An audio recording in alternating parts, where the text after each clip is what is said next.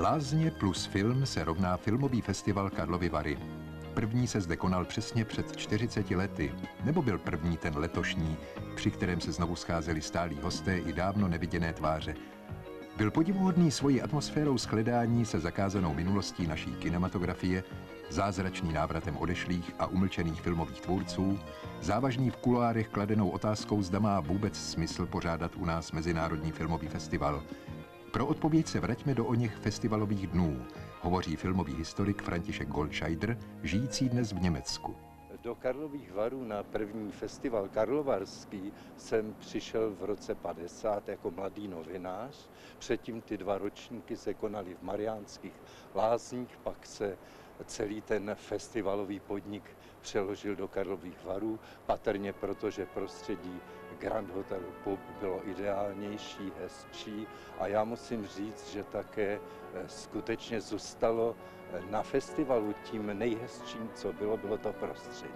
To, co se hrálo a to, co se pak objevilo na listině vítězů, neodpovídalo vždy kvalitě, protože ta filmová politika, která odpovídala tedy politice eh, všeobecné, řídila vyznamenávání filmu, takže v roce 50 například dostal cenu pán Berlína, a třeba to byl jiný film, který by si byl, zasloužil tu cenu. I v dalších letech třeba Rytíř Zlaté hvězdy dostal cenu. A řada takových filmů, která později třeba i v chruščovovské éře byla prohlášena za typický produkt kultovního období.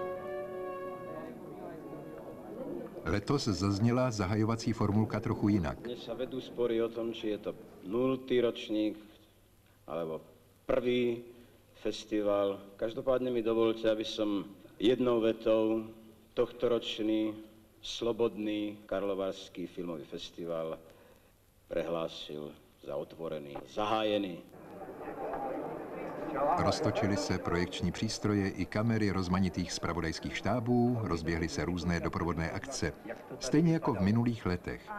Ale i karlovarský videospravodaj se především snažil zjistit, čím se festival od minulosti chce lišit. Snad netradičním příjezdem držitelů Oscarů?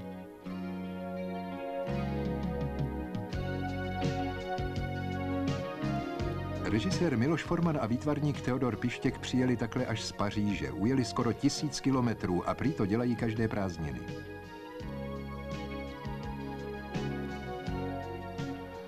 S velikým napětím se očekávalo, zda se uskuteční i ta nejváženější státní návštěva. Příjezd prezidenta republiky byl pro festival nezvyklou podstou.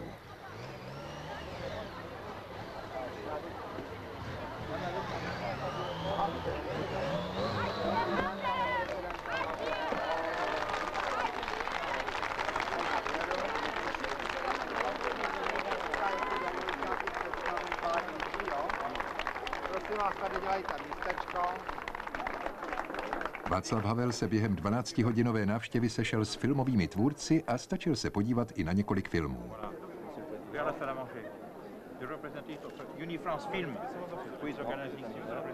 V rámci tradice zasílali zahraniční hvězdy omluvné dopisy. Některé však přece jen dorazily. Slavný americký herec Robert De Niro, známý třeba z filmu Půlnoční běh, Maximilián Schell, moudrý režisér i herec, který v té blízké a už vzdálené minulosti přečetl za Václava Havla projev Slovo o slovu.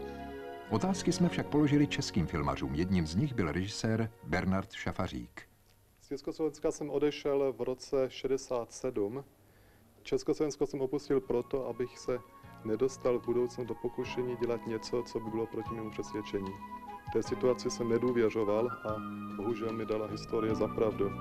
Své filmy do festivalové kolekce Exilová tvorba přivezli i Jaroslav Vízner, Ivan Fíla, Otakar Votoček, Vojtěch Jasný. Přijela i jeho žačka Maria Kniliová z Míchovské filmové školy, mladá německá režisérka s filmem o českém emigrantovi, kterého hrál Pavel Landovský. Film se jmenoval Follow Me a promítal se v rámci festivalové kolekce Cizinci o nás. Na uplatnění filmového dokumentu ve světě jsme se zeptali Miloše Formana. V Americe kinech nevidíte dokumentární filmy, vůbec ne. Tam dokonce nevidíte ani žurnály, ani týdeníky, tam vidíte akorát pár reklam, než se zhasne a pak už jede hlavní film. Ale vidíte dokumentární filmy v televizi a tam e, můžete vidět vynikající, ale musí to být vynikající, zajímavý dokumentární filmy, nejenom takový, jako aby jako někdo z nudy se měl koukat na nějaký obrázky. Třeba tam, já nevím, jestli tady běžely ty dokumenty toho, to je bratr toho Sir Richard Attenborough, to je jeho bratr, udělal celý seriál filmu vlastně o vzniku světa, o, o, o přírodě, o zvířátkách a je to fascin, fascinující dokumenty. A ty mají veliký úspěch v televizi, ano. Paní Kolouchová, právě před chvíli skončilo tamhle v Termálu promítání jednoho z vašich filmů tady na festivalu. Můžete nám říct, kolik filmů tady máte a o čem pojednávají? Tak na festivalu mám celkem tři filmy. Všechny tři filmy jsou... Eva Kolouchová žije ve Velké Británii, kde působí jako režisérka a producentka. O invazi, o tom, co se stalo v Moskvě za zavřenými dveřmi mezi Dubčekem je a jeho prezidiem a e, Brežněvem.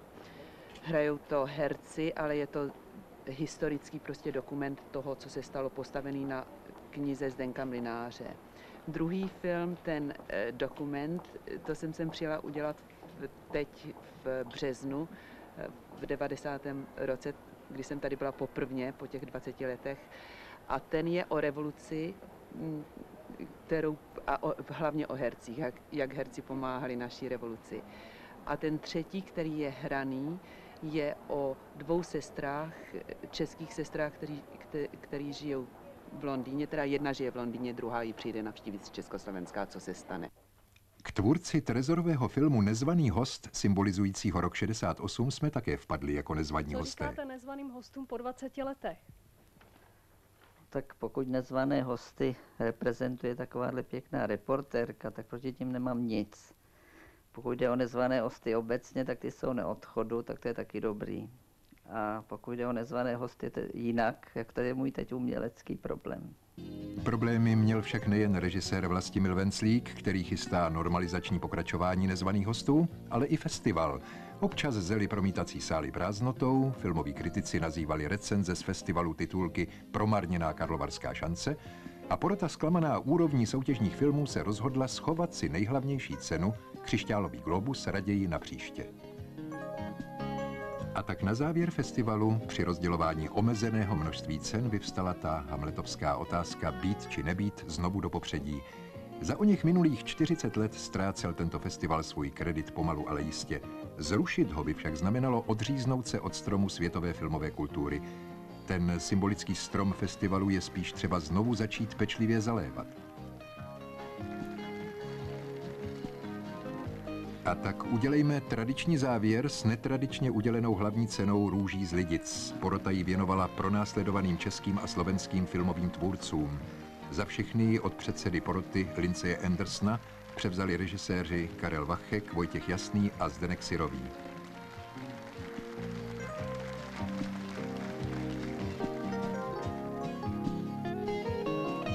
Takže v lepším filmovém příští zase v Karlových Varech tradičně naskledanou.